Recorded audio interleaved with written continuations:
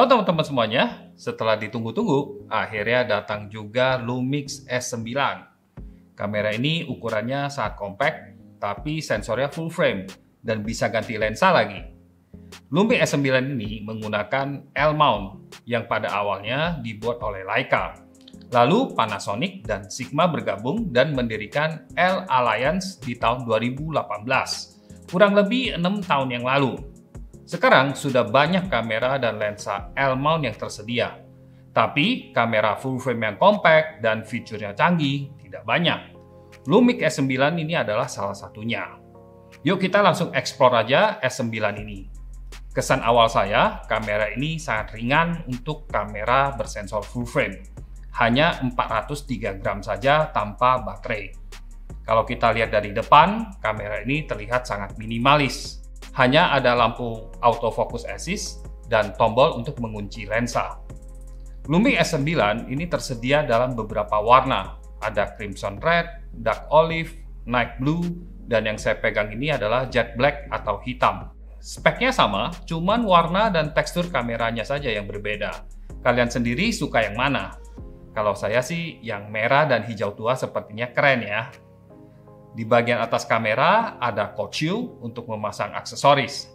Sayangnya tidak ada kontak elektroniknya, jadi tidak bisa buat mentenagai flash atau mic ya. Dan ada mode dial yang pilihannya menurut saya cukup lengkap dari Intelligent Auto, PASM, Movie Mode, dan juga ada tiga custom mode disertai dengan SNQ mode. Selanjutnya ada tuas on off, ada tombol kompensasi exposure, tombol record video, dan tombol shutter, dan juga dial utama untuk mengganti setting yang penting. Di bagian belakang ada layar yang bisa diputar segala arah. Layar ini sedikit menonjol dari bodi kamera. Ada tombol LUT atau LUT untuk akses mengganti LUT dan juga ada tombol AF on. Menariknya, tombol LUT ini ditempatkan cukup strategis dan mudah dijangkau oleh jempol saya.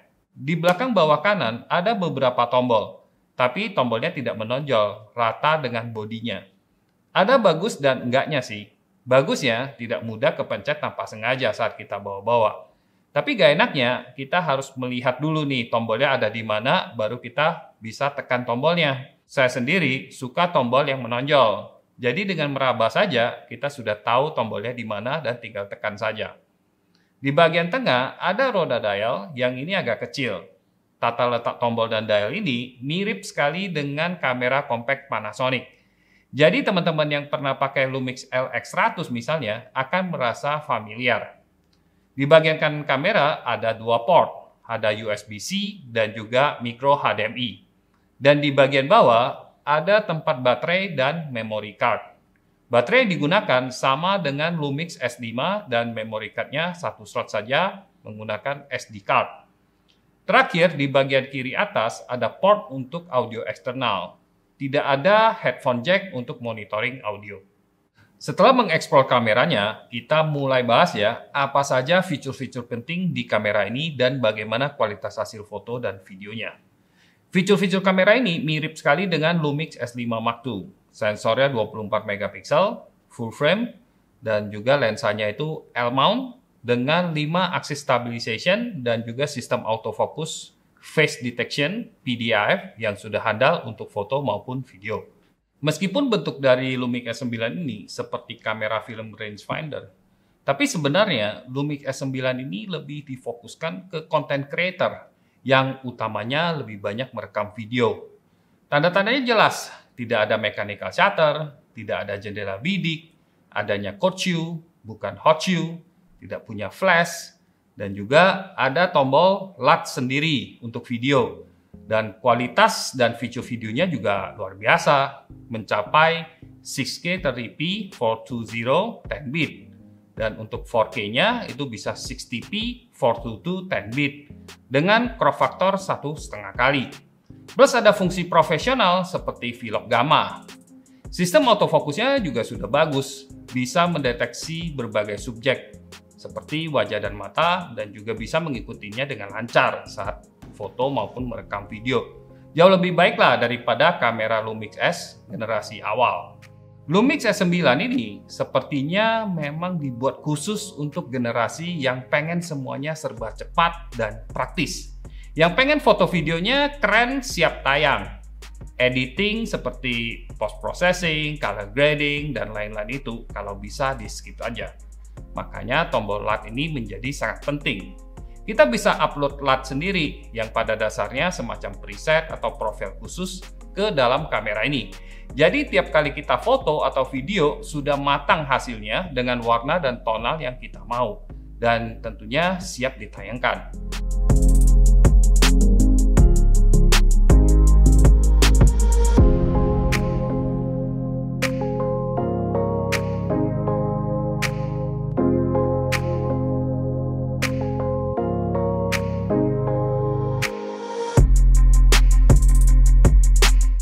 Bagi yang awam tentang LUT dan nggak punya LUT sendiri, bisa mulai dari download file LUT yang gratis ya, yang disediakan oleh Panasonic sendiri.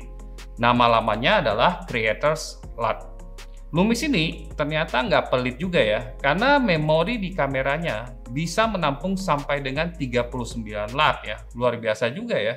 Untuk loading LUT-nya juga relatif mudah, Simpan dulu filenya ke kartu memori, terus di kamera akses saja menu yang namanya LUT Library. Lalu kita tinggal load aja LUT-nya ke kamera. Kalau mau transfer via Lumix Lab, aplikasi yang baru dari Panasonic, dari ponsel langsung ke kameranya itu juga bisa. Saya sendiri sempat mencoba LUT yang bernama S-Night karya Sukei Fuji untuk pemandangan malam di perkotaan. Dan hasilnya oke juga saya lihat. Langsung dari kamera, nggak perlu repot edit lagi. Sudah terkesan sinematik. Ya. Yang saya senang adalah kekuatan tiap-tiap plat itu juga kita bisa atur. Soalnya kadang-kadang kita hanya mau tambahin sedikit warna ya supaya mood dalam foto atau footage video kita itu bisa sedikit lebih mantap ya. Tapi kita tidak mau warna aslinya berubah total.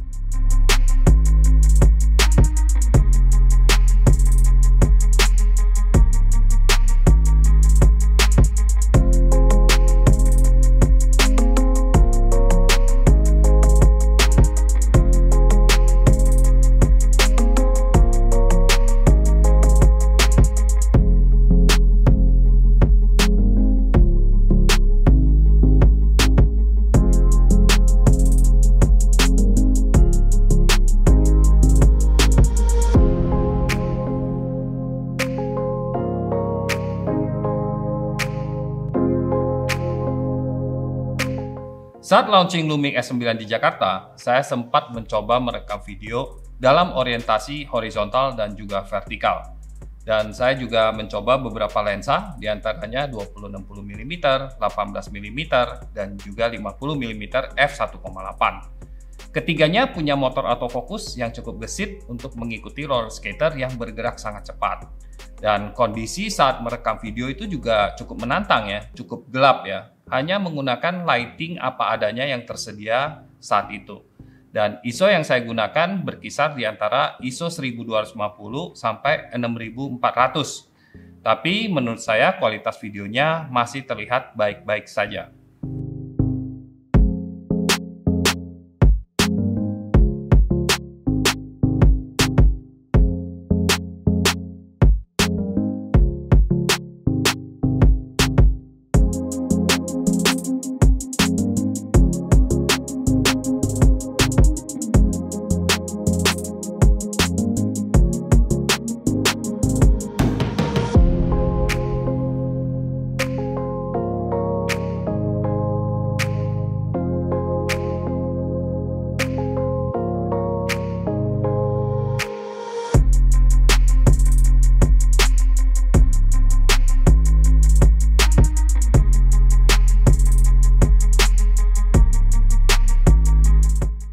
Yang teman-teman ketahui, saya tidak begitu sering merekam video.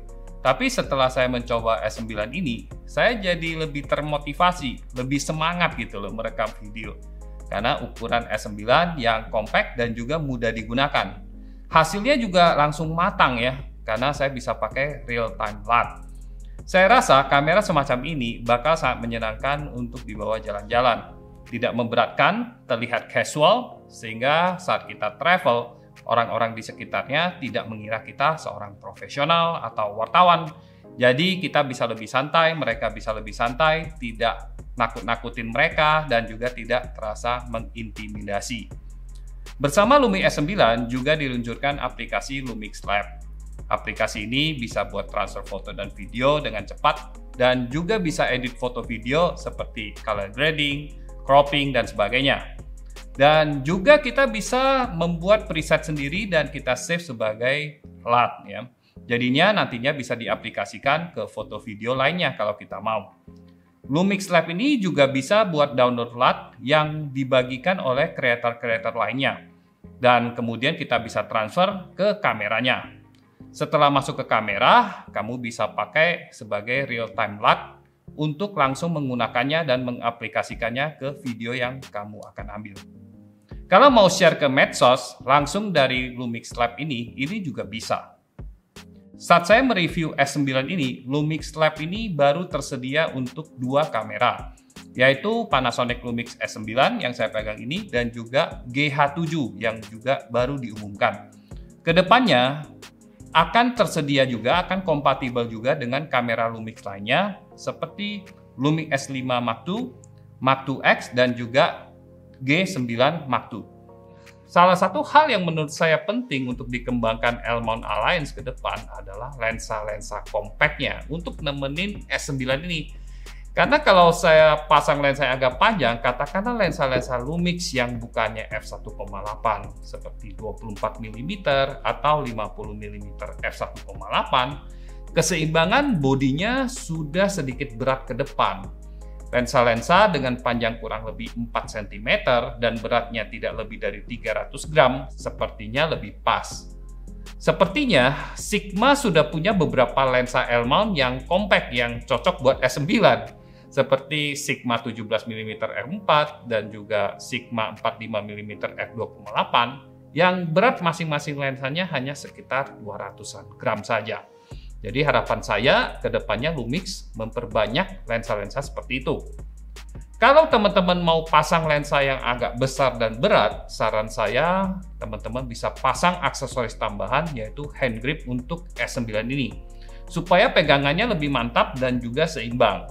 Kalau kita punya lensa-lensa Leica M yang manual fokus dan mungil-mungil, itu menurut saya juga oke juga dipasang di kamera semacam ini. Karena bentuk Lumix S9 ini mirip sekali dengan Leica M.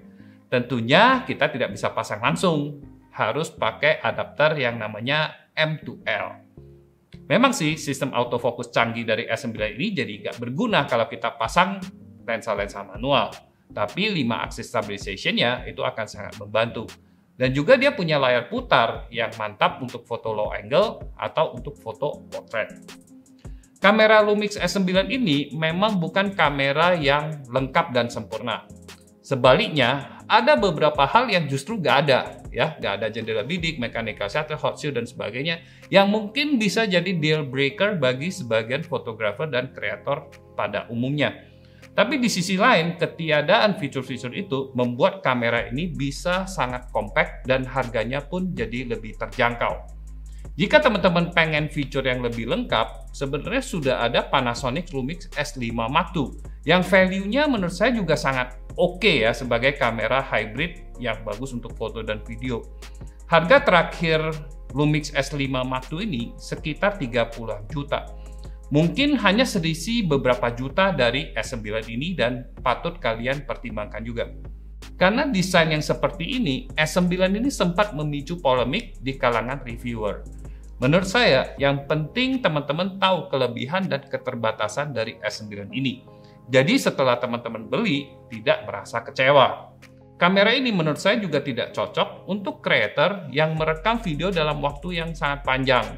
Misalnya untuk wawancara podcast misalnya, apalagi di kondisi yang panas nih. Untuk itu, lebih baik teman-teman memilih kamera yang ada built-in fan-nya seperti S5 atau S1H yang juga bisa merekam video dalam durasi yang tidak terbatas. Kamera ini juga kurang cocok bagi fotografer yang mungkin ke depannya berencana belajar fotografi yang lebih advance. Misalnya ingin belajar dengan menggunakan flash atau untuk fotografi yang agak ekstrim, misalnya fotografi olahraga atau fotografi satwa liar. Menurut saya kamera semacam Lumix S9 ini bakal cocok sebagai kamera casual untuk motret dan merekam video-video pendek. Creator food, travel, daily vlog yang rutin posting konten setiap hari itu akan cocok menggunakan kamera ini. Kalau kalian fotografer dan videografer profesional, S9 ini juga cocok sebagai kamera kedua. Misalnya untuk scouting, untuk street fotografi, dan karena ukurannya yang sangat compact, kondisi-kondisi di mana kamera compact yang ringan lebih menguntungkan, misalnya saat trekking atau hiking, ini juga sangat meringankan. Bagusnya lagi, S9 ini kan sensornya sudah full frame ya, 24 megapiksel mirip dengan S5 atau S1 misalnya. Jadi kalian tidak berkompromi dengan kualitas foto dan videonya, terutama di kondisi cahaya yang gelap. Harapan saya mudah-mudahan sistem kamera dan lensa L Alliance ini bisa makin berkembang, bukan hanya kameranya saja, tapi juga lensa-lensanya. Terutama yang mungil-mungil atau istilahnya pancake, sehingga Lumix S9 ini punya banyak pilihan lensa yang sepadan untuk S9. Kabar baiknya, Lumi S9 juga sudah launch dan siap untuk di pre-order. Harga kamera ini 22.999.000. Ya, istilahnya ya 23 juta lah ya.